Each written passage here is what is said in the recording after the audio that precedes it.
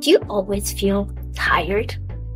You have no energy, low mood, and it's not really explainable. You went to the doctors and you did a blood test, everything shows you're normal, but you're just so drained and depleted at the end of the day and you don't know why.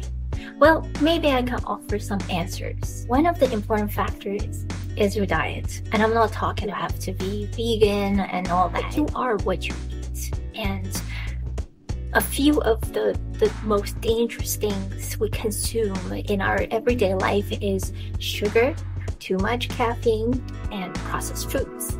If you we consume sugar, artificial sugar, then we're gonna have that sugar crash, and it's one of the most dangerous drug in our modern life. Yet no one talks about it. If you consume too much caffeine, it's not as dangerous as sugar, but it also drains your energy. And of course, we can avoid chocolate bars, uh, chips, um, even the things that we perceive, we think is healthy for us, such as granola bars and energy bars and protein bars and juicing, for example, we thought was healthy, but it's not. Juices, once it's broken down from its fruit format, it's pure sugar. It's no different than drinking a can of pop.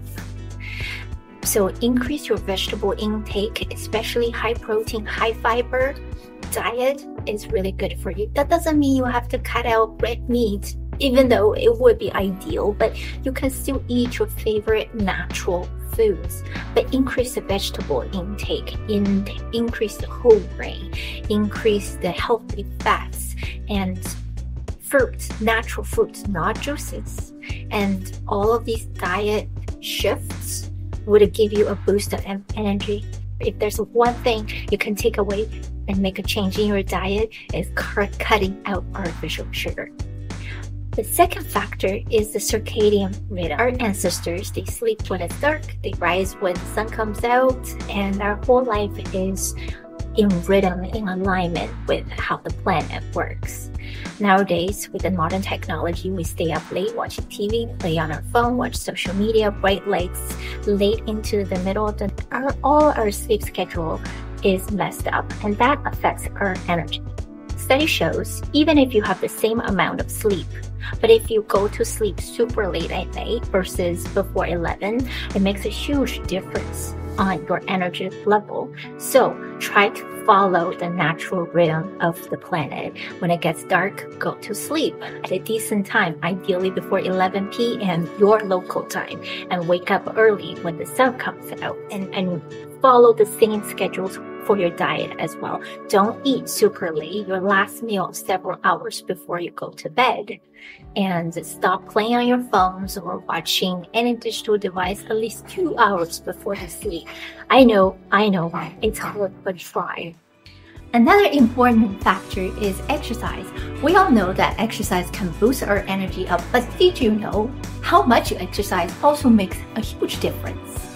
If you already have a very challenging and exhausting job, or let's say you're a new mom with a small infant, you're already really, really tired from your responsibilities, and you do a super hard workout, for example, CrossFit, that's gonna deplete your energy, not increase.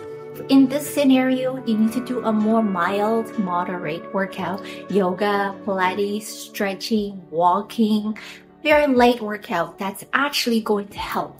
Versus, let's say you are on vacation, you can boost your workout exercise level to be a little bit more intense. So adjust your workout exercise level to how your body feels.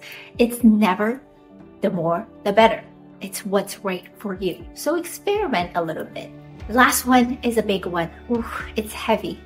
Negative emotions also drain your energy, whether it's depression, anxiety, stress, or just the everyday negative thoughts.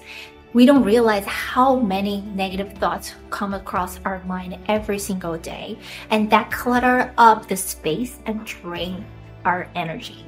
So be intentional, be mindful of what you think about will help significantly.